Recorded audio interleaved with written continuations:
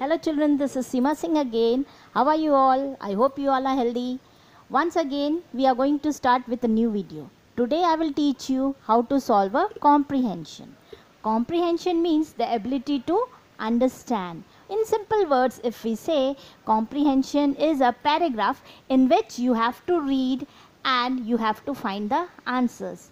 In comprehension, a small paragraph will be given. You have to read the paragraph, you have to understand it, and you have to answer the question given below the paragraph. So, let's start it. Reading comprehension is an exercise that trains students to understand the language. Okay, here a small paragraph is given, you have to read it and you have to understand it, what is given in the paragraph. If you understand it, it will be very easy for you to find the answer. See, here I am reading a small paragraph for you all.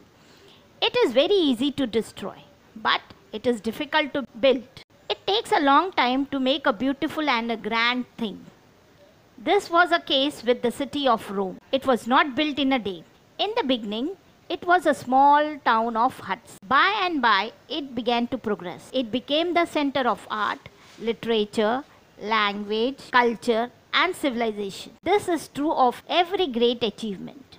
It is not the result of one day. Every person achieves greatness after years of patient labor. So, now let's move to the question answers. Your first question is what is easy and what is difficult. So, in the first line of the paragraph, you can see it is easy to destroy, but it is difficult to build. So, very easily you got the first answer.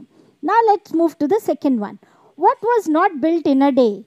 See, in the fourth line you can see it was not built in a day. It means about what that paragraph is. The paragraph is about Rome. So Rome was not built in a day.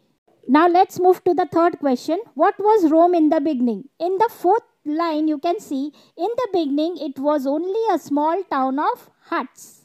Right? Now the last question. What things was Rome center of. Here from down you can see the fifth line. It became the center of art, literature, culture and civilization. So children, I hope you have understood how to solve the comprehension. This is all for today. Meet you in the next video. Till then, goodbye.